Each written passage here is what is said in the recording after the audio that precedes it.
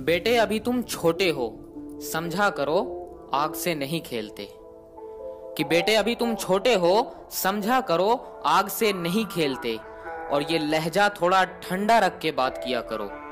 गर्मी तो हम सूरज की भी नहीं झेलते।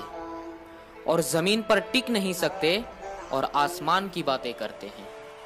कि ज़मीन पर टिक नहीं सकते, और आसमान की बातें करते हैं। आजकल कुछ लोग अपनी औकात भूल बहुत ऊँची ऊँची बातें करते हैं।